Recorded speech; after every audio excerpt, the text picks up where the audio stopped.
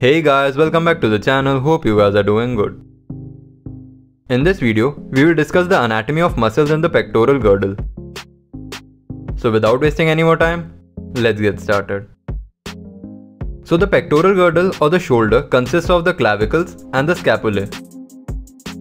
Let's have a look. This is the pectoral girdle, composed of the clavicles and the scapulae. Starting with the first muscle, the deltoids. These muscles originate from the lateral third of the clavicle, the acromion, and the spine of the scapula, and gets inserted to the deltoid tuberosity of the humerus. The action of the muscle is abduction of the upper limb, flexion, and extension of the arm. Let's have a look. As you can see, these are the points of origin, lateral third of the clavicle, the acromion and the spine of scapula. And this is the point of insertion, the deltoid tuberosity of the humerus.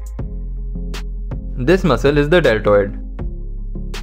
Next muscle is teres major. This muscle originates from the lower angle of the scapula and gets inserted to the medial lip of the intertubercular sulcus.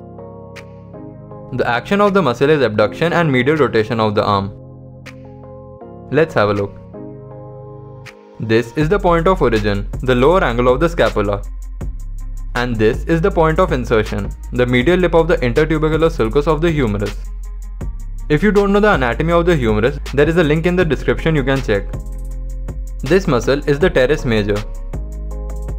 Next muscle is the teres minor.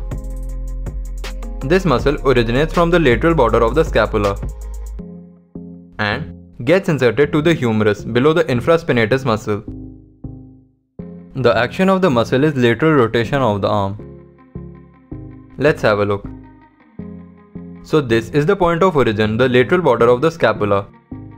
And this is the point of insertion. This muscle is the teres minor. Last muscle for this video is the subscapularis. The muscle originates from the subscapular fossa and passes in front of the shoulder joint to the lesser tubercle of the humerus. The action of the muscle is medial rotation of the arm. Let's have a look.